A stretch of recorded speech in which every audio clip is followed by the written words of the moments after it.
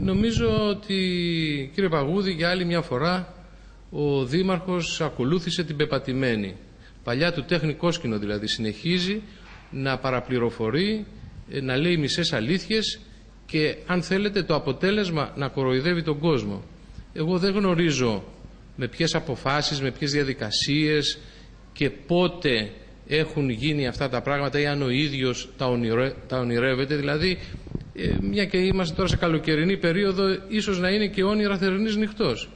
Ε, και είναι παραπληροφόρηση το ότι αγοράστηκε ένα οικόπεδο στη Λίμνη. Ποτέ δεν έχει αγοράσει το Δημοτικό Συμβούλιο με απόφασή του κανένα οικόπεδο στη Λίμνη.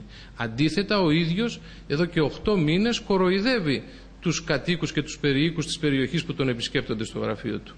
Ουδέποτε το, το Δημοτικό Συμβούλιο έχει συζητήσει την αγορά οικοπαίδου ε, πίσω από την παλιά κλινική του Αργυρούδη ε, που από ό,τι ξέρω ε, είναι και ένα δύσκολο έργο να ολοκληρωθεί και να καταλήξει γιατί υπάρχουν διαφορές μεταξύ των ιδιοκτητών αυτού του οικοπαίδου και δεν ξέρω και αν είναι και κατάλληλο. Ουδέποτε όμως έχουμε ασχοληθεί ως Δημοτικό Συμβούλιο και εμείς αυτά τα μάθαμε χθες παρακολουθώντας τη συνέντευξη αυτή.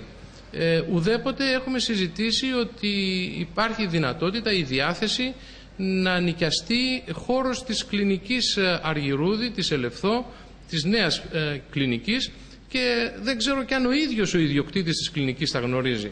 Ας βάλει μια τελεία ο Δήμαρχος, ε, ας σοβαρευτεί και ας γίνει πιο υπεύθυνος.